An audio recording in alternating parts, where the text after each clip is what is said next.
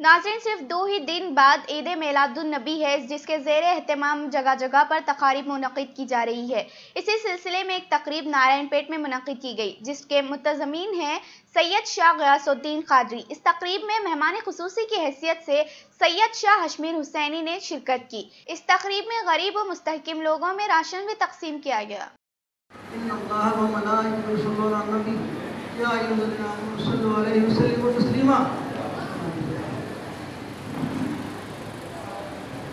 پر تشریف فرما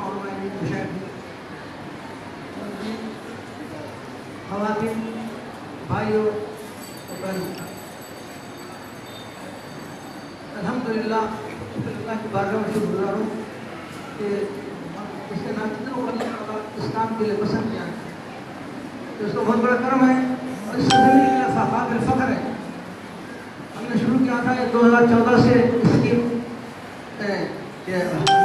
سوسائٹی کا اس کا پیکیجز کا الحمدللہ اللہ کے فضل و کرم سے ترقی کرتے آئے آپ لوگوں کے تعاون سے یاد رکھیے کہ جب تک کہ تعاون قوم نہ ہو قوم ترقی نہیں کر سکتی قوم کا تعاون ضروری ہے حسن اہلیہ نے نارائن پر سے گزارش ہے کہ جو بھی کام ہوتا ہے دین کے لیے اس میں آپ لوگ آگے بڑھیں نہ صرف سوسائٹی میں جو بھی کام ہوتا ہے بعض بعض اسکول ہیں اس مدرسے چلائے جا رہے ہیں آپ تعاون جو اس میں اب ان کا کم سے کم مشورہ تو ہم ترقی مسلمان ترقی کا راز یہ ہے کہ ہم لوگ آپس میں مشورے کرنا چھٹی ہے تو بول دینا چھپا دینا اگر کوئی خامیاں ہے تو یہ کر دینا۔ تاکہ چھپا کے رکھتے ہیں پرتی شکایت ملے گا۔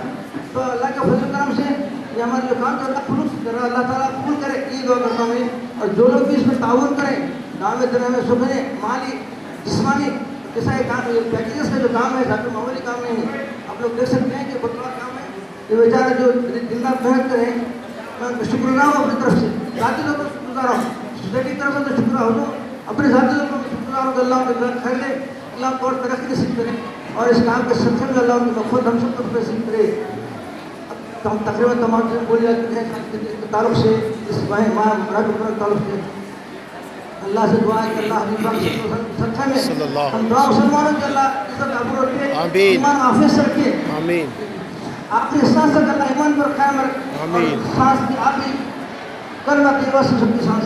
ختم ہو جائے، یہ دعا کرتا ہوں ایسے مجالس میں شریک ہو جائے ہوئے۔ اور ایسے کاموں میں حصہ لیجیے دین کے کام میں بڑھ کر حصہ لیجیے کام دین کا کام جو بھی کریں گے، اس کی نیکی ابدی ہے۔ دنیا میں اعتبار سے تم خدمت کریں گے تو دنیا میں ختم ہو جائے گی۔ ابدی جو ہے، یہ دین کی خدمت ہے۔ غریبوں کو کیا ہمارا کیا میں قسم ہو جائے۔